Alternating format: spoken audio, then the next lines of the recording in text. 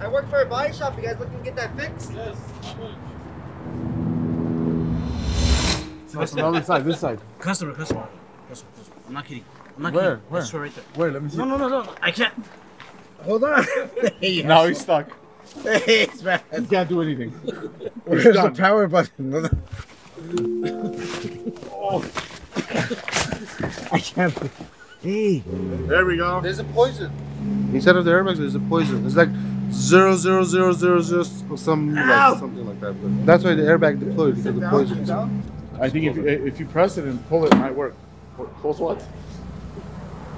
This beautiful black badge Cullinan was rear-ended. Unfortunately, the side airbags blew up, and this car is a total loss because the damage on this is over two hundred fifty thousand dollars, and the car is worth about five hundred. Salvage value is about 330, 340. So the insurance company is deciding to total loss it. It's going to go to Copart, and everybody's going to have a bidding war on it because it is a pretty sick Cullinan, but it is going to have a salvage title. So beautiful interior. It's got the Forge yellow interior with the captain seats in the back. This thing's beautiful. Here's some champagne flutes. We were planning on fixing this. The customer was thinking about buying it back, but didn't want to keep it at a salvage title, so we're gonna trash it. But yeah, the rear end has a significant damage. Front end has some damage. Interior has a lot of damage. So sadly, it's toast. So you can't have white tints.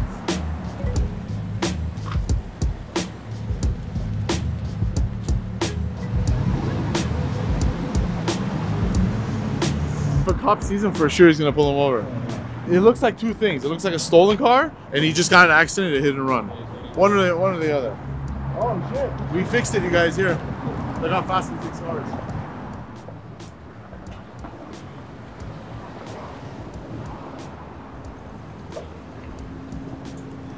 The car's smoking in the back. Yeah, yeah. Clear my valve. Can you wash this? Yeah, I want to make it nice and shiny. Ceramic coat it. We're gonna do Ceramic coat. I think if you ceramic coat it, the car will be good again. Yeah, the airbags will get fixed.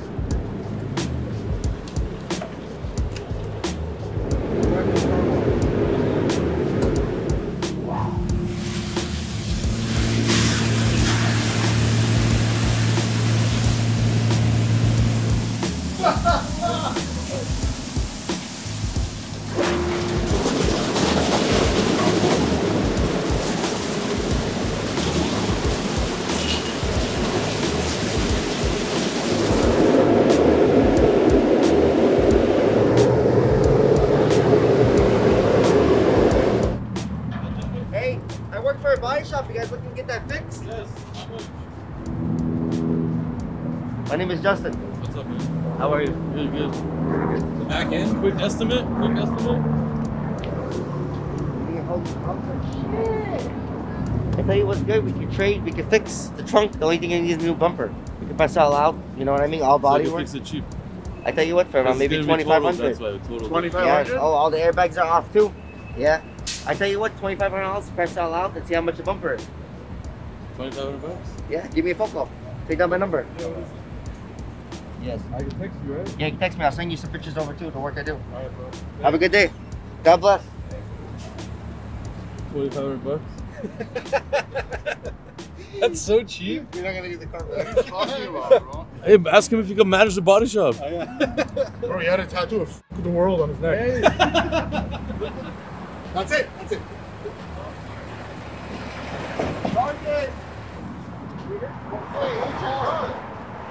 He's like, it's okay, but his face turned red.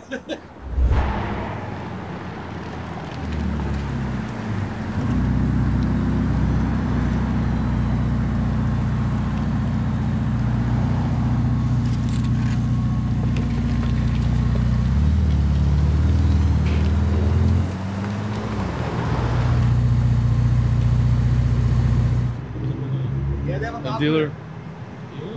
Yes. There's some defects they gotta fix.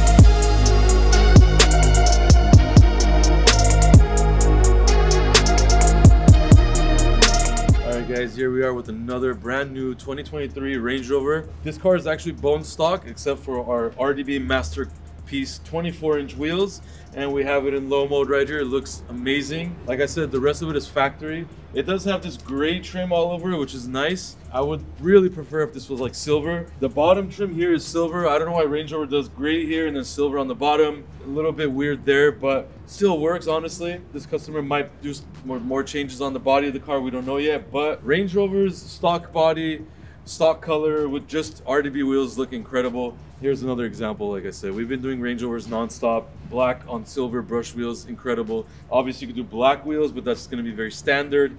With the brushed, these wheels we put on a lot on Rolls Royces. But as you can see, it looks amazing even on a Range Rover. So if you got a new Range Rover, you have to be ordering RDB wheels. We ship worldwide. Contact us at info at rdbla.com, DM us, Instagram, whatever. We can ship you wheels ready to go, even with tire sensors mounted, ready. So like I said, hit us up.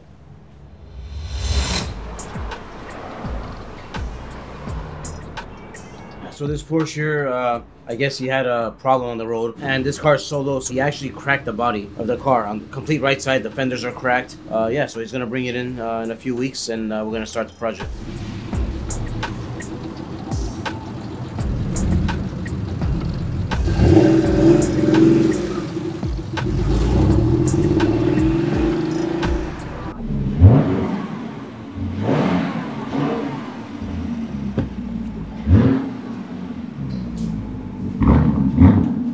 All right, the Urus Performante. By now you've seen it on our channel multiple times. In the last video, I did actual review on this car from driving it, to telling you guys all about it and uh, how nice of a car it is. Just like the previous generation, one of my favorites.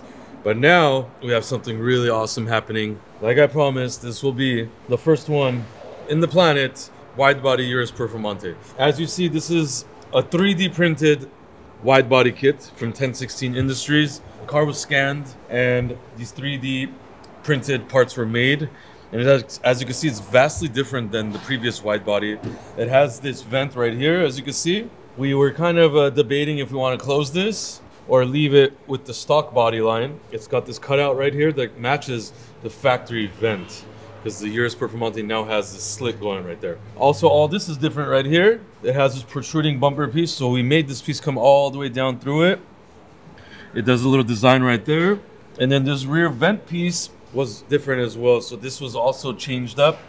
This is still the factory diffuser right here, but this is all going to be changed to the more aggressive version because it is a little bit soft. The roof and trunk spoiler are already pretty good, so we're probably going to leave those alone. It looks really nice. And as you can see, the door molding, which is identical to the Generation 1 Urus, looks really nice. And we have another piece coming down here. So the side skirt is still factory right there.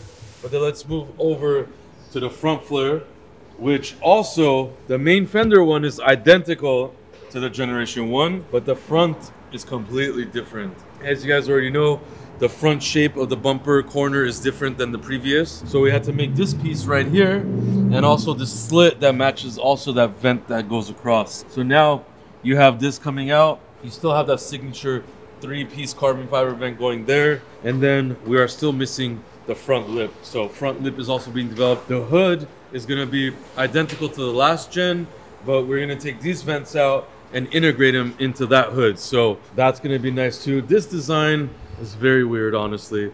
Uh, Lamborghini wanted to show off the carbon fiber, so they did this paint theme on it. It doesn't go with the car, in my opinion. It's like an oval shape.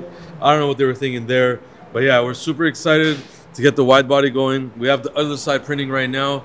Luis is going to be doing some touch-ups. As you can see, this is not matching up perfectly, so we're going to fine tune it a bit before it goes to the mold production process. But yeah, nowadays you could scan a car, you could 3D print a kit, test fit it, see if you want any changes, and then make the production mold. So very, very soon you're gonna see this wide body done. But let us know what your thoughts on how it looks. Obviously this is different. The back end I think looks really, really dope. And uh, let us know. Ah, hey, don't forget to subscribe and like the video. And also, if you have any comments, good or bad, leave it below. All right? So, see you on the next one. Haha.